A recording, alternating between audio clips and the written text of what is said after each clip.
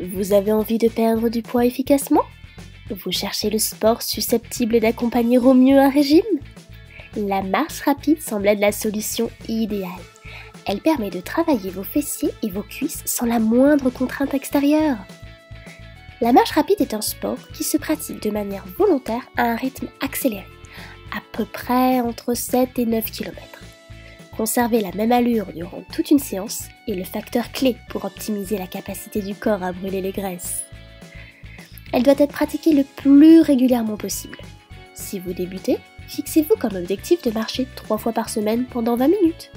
Puis, augmentez progressivement. 3 fois 30 minutes, 3 fois 40 minutes, jusqu'à 3 fois 1 heure. Mais privilégiez avant tout la régularité. Ne vous épuisez pas dès la première semaine pour finalement tout stopper au bout de 5 jours. C'est votre assiduité qui entraînera des résultats visibles. La marche rapide pratiquée régulièrement est un excellent moyen pour perdre du poids. Ceci dit, il faut aussi et surtout manger de manière non pas restrictive, mais équilibrée. Évitez de vous goinfrer de Nutella en rentrant de votre séance. Vous perdrez tous les bénéfices de ce sport. Ce serait réellement dommage. Bon mesdames, on quitte l'ordi et on y va. N'oubliez pas, 20 minutes pour commencer.